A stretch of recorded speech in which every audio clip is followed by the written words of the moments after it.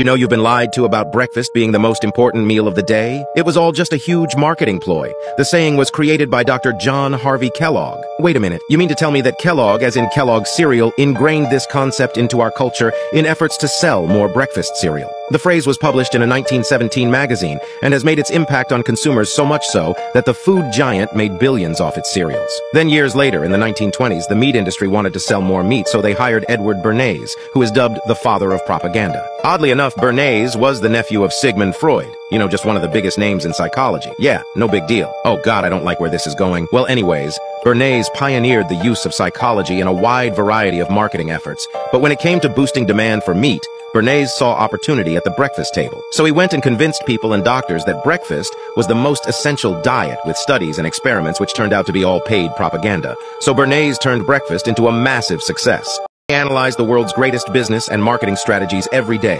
So